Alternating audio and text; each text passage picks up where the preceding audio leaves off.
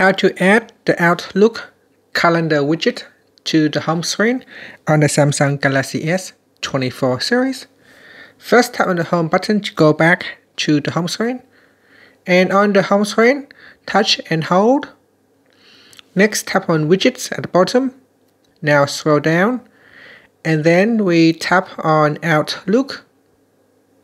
So let's go back up and here it is. So tap on Outlook and then we scroll down.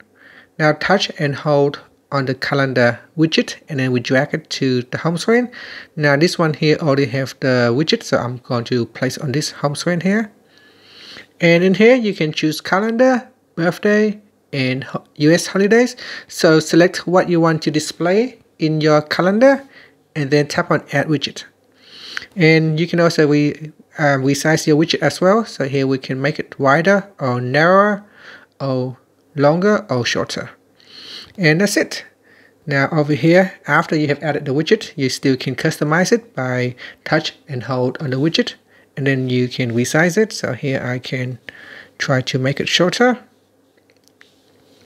I can make it narrower if I want to. And I can also go into settings. So tap on settings in here.